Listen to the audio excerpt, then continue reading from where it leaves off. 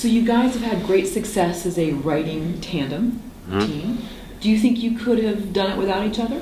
Yeah, of course. I'm what? Oh. I'm s- uh, no, well, no, no, because you know it's uh, it's it's it's a partnership, and a lot of the ideas just come out of like brainstorming sessions, going back and forth, or something's written, and then others uh, we have uh, ideas, and no, I don't think so. It'd be it'd be totally different. You know, it's it's the same exercise if you gave three different directors the same script, it'd be totally different. You know what I mean? And so, uh, it, what we end up with would be very different, I think, because each brings a different thing to the table.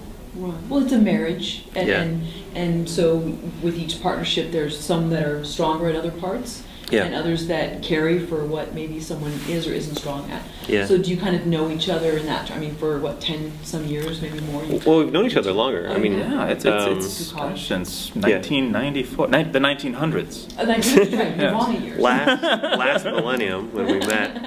Okay. Um, but you know, because the, first thing we wrote together was '99. It was Feast uh, in '99, and we, since we both been on LA, we met at Iowa, University of Iowa, and uh, and I've been in LA since '97. He came out in '99, and Mhm. and we lived in the same building for years and years, and then uh, I actually started writing on a borrowed computer that was uh, had this. We were we could type faster than it could process. So you literally have to let it cool down, and then turn off and wait and wait, and then boot it back up. And all right, we'll do a few more pages.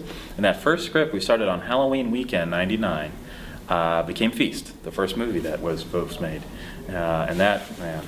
Yeah, I, I knew we were fortunate then. I did not I don't think I still fully have a grasp on how entirely lucky we were to have that experience because there are there are writers and there are producers and there are directors that never get a chance to tell their story. And we're sitting here today to talk about the the 11th, tenth, 10th, 10th film? tenth, tenth produced film Yes. that we got credit for. Yes, and, and, and that's just, I mean, wow. Uh, we have stories now to entertain ourselves well through old age and beyond.